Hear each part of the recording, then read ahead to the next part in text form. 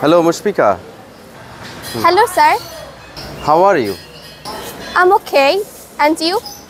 I'm also fine. I don't see you for so many days. Where did you go? I went to Dhaka. Dhaka? Sounds great.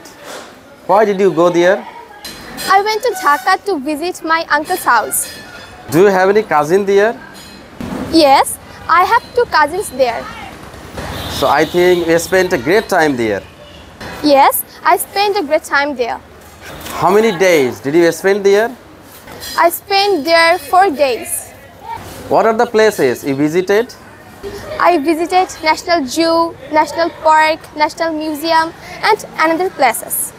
You're lucky that you went to Dhaka. Yes, you are right. Next year I will go to Dhaka again. Okay, it's time to go to class. Let's go. Sure, let's go.